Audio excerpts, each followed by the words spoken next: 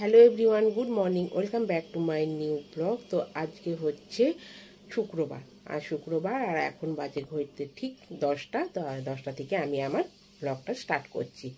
তো গতকাল আমার ছেলের আর কি বার্থডে ছিল, চোদ্দ থেকে এই পনেরো বছরে পড়ল, গতকাল আমি ওর জন্য কিছুই করতে পারিনি আর কি, আজকেও আমি কিছু করব না। আর গতকাল করতে পারিনি কেন বলতো? গতকাল আমার শাশুড়ি মায়ের মানে জেঠি শাশুড়ি মায়ের বাৎসরিক কাজ ছিল, ওই কারণে কোনো জন্মদিন উপলক্ষ কিছু অনুষ্ঠান হয়নি। আর আমাদের এমনিতেও জন্মদিন উপলক্ষে কোনো অনুষ্ঠান হয় না। আমাদের আর কি বংশগত আর কি, এটা কোনো কিছু আর কি কেক কাটা এই সমস্ত কিছু হয় না। ওই একটু নতুন জামা কাপড় পরানো হয় আর একটু ভালো মন্দ খাওয়ানো হয়। ব্যাস, এইটুকুনি আমাদের জন্মদিন পালন। এর থেকে আর বেশি কিছু হয় না। তো যাই হোক, ওইটুকুনও কালকে করিনি। যেহেতু আমার শাশুড়ি মায়ের মানে জেঠি শাশুড়ি মায়ের বাৎসরিক কাজ ছিল বলে ওইটাও করিনি। তো আজকে স্বর্ণাঙ্কর জন্য একটু মাছ নিয়েছি, চিংড়ি মাছ। ওর খুব প্রিয় আর কি মাছ। তা ভাবলাম যে চিংড়ি মাছের একটু মালাইকারি করব। তা সেই রেসিপিটা আজকে তোমাদের সঙ্গে শেয়ার করব। আজকে কিন্তু জন্মদিন উপলক্ষে ওর জন্য কিছু আয়োজন করছি না জাস্ট একটু চিংড়ি মাছের মালাইকারি করছি। ওকে বলেছি তোমাকে পরে একদিন তোমার পছন্দ মতন আমি তোমাকে খাইয়ে দেবো। তুমি যা যা ভালোবাসো, হয়তো যদি তুমি বলো রেস্টুরেন্টে খাবে, তোমাকে সেখানেও খাইয়ে আসতে পারি। আর তুমি যদি বলো যে না, ঘরেই এনে খাবে, তো ঘরে এনে খাওয়াবো। তো যাই হোক, সেটা তোমার পরে করব। এখন না, এই মুহূর্তে না, পরে করব।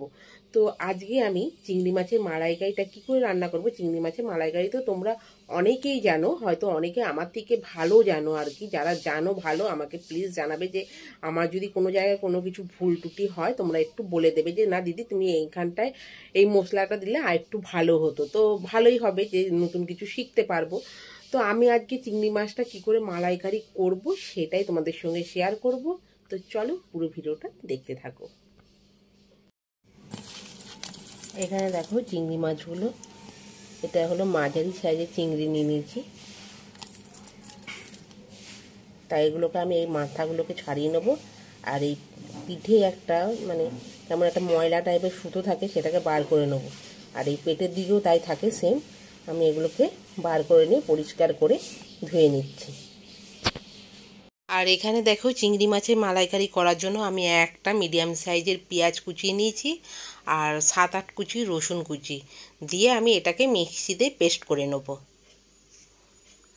আর এদিকে দেখো কড়াইতে আমি চিংড়ি মাছগুলো ভাজতে দিয়ে দিয়েছি। চিংড়ি মাছগুলো ভাজা হয়ে গেলে আমি এক এক করে তুলে নেব। তা ভাজা হয়ে গেছে। ওই তেলের মধ্যে আমি অল্প একটু তেল দিয়ে দিয়েছি আর এখানে আমি দারচিনি, লবঙ্গ আর ছোটো এলাচ আমি এটা ফোড়ন দিয়ে দিলাম। দিয়ে একটুখানি হালকাভাবে নাড়িয়ে নিলাম। দিয়ে আমি যে পেঁয়াজ আর রসুন বাটার যে পেস্টটা সেটা আমি দিয়ে দিলাম। দিয়ে আমি মশলা ধোয়ার জলটা একটু দিয়ে দেবো এর মধ্যে। যাতে মশলাগুলো না পুড়ে যায়, এই জন্য মশলা ধোয়া জলটা একটু দিয়ে দিচ্ছি। এবার আমি পরিমাণ মতন লবণ আর দিয়ে দিচ্ছি হলুদের গুঁড়ো। আর দিয়ে দিচ্ছি জিরের গুঁড়ো। আর দিয়ে দিচ্ছি শুকনো লঙ্কার গুঁড়ো। আর দিচ্ছি অল্প একটু কাশ্মীরি লঙ্কার গুঁড়ো। দিয়ে ভালো করে মিক্স করে আমি এটাকে কিছুক্ষণ ধরে কষিয়ে নেব, যতক্ষণ না মশলা থেকে তেল বার হচ্ছে।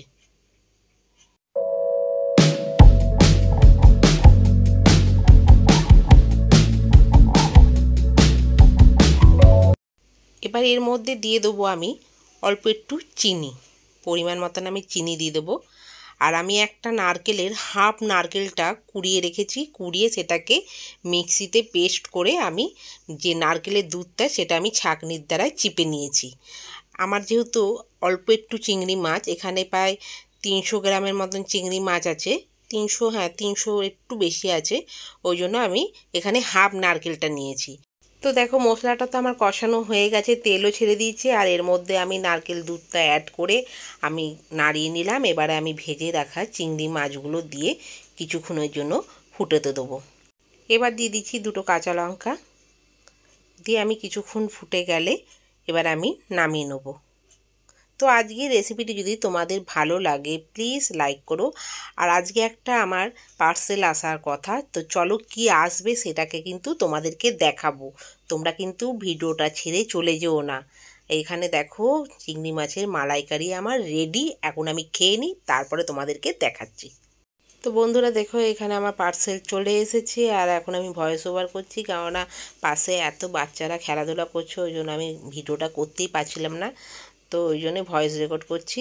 তা এখানে দেখো আমি পার্সেলটাকে আমি খুলছি আর কি। এখানে আমি আনবক্সিং করছি আর এর মধ্যে কি আছে বলো তো? গেস করো। আর সত্যি কথা বলতে আমার অনলাইনে জিনিস কিনতে খুব ভালো লাগে। যেহেতু আমার অনলাইনে জিনিস কিনে কিনে জিনিসগুলোতে আমার এখনও পর্যন্ত আমি কোনো দিন ঠকিনি আর কি। জিনিসগুলো আমার প্রতিটাই ভালো এসেছে। ওই জন্য আমি অনলাইনে জিনিস কিনতেই বেশি ভালোবাসি। আর কি বলতো, সবসময় তো বাইরে বেরোনো হয় না, ওই জন্য ঘরে বসেই কেনাকাটা হয়। আর এই দেখো, এটা আমি নিয়েছি একটা কুর্তি। আর আমার দেখবে বেশিরভাগ কুর্তি মানে ব্লু কালারের সব নেই ব্লু এরকম। নীল কালারটা আমার একটু বেশি প্রিয়, নীল, কালো এগুলো। নীলটার থেকে আমার বেশি কালোটা, নীলটা আমার হাজব্যান্ডের প্রিয়। কিন্তু আমার হাজব্যান্ডের মানে কালারটা এই কালারটা পছন্দ হয়েছে বলো ওই জন্য নিলাম আর কি। তো দেখো কেমন হয়েছে কুর্তিটা বলো। খুব একটা বেশি দাম না, খুব অল্প দামের মধ্যে। ওই ডেলি রাফ ইউজের মতন আর কি। দেখো, কুর্তিটা কিন্তু আমার ভালো লাগল। জানি না তোমাদের কেমন লেগেছে, কমেন্টে জানাবে। তো কুর্তিটা আমি একটু এই নাইটির ওপরেই পরে তোমাদেরকে একটু দেখাচ্ছি আর কি।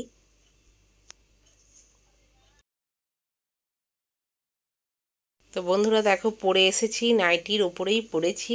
কেমন লাগছে কমেন্টে জানাবে। তো আজকে ভিডিওটা যদি তোমাদের ভালো লাগে প্লিজ লাইক করো শেয়ার করো কমেন্ট করো।